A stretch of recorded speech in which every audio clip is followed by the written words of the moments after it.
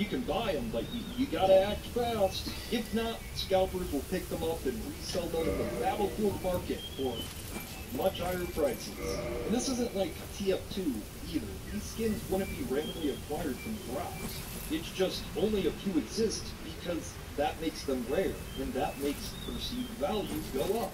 The publisher has a storefront to resell these skins and gets a kind of each. Now, if nobody well, if nobody says, okay, let's accept these NFTs, then nothing happens. Luckily, NFTs have become so despised that any game thinking about using them now has a far greater chance of failing.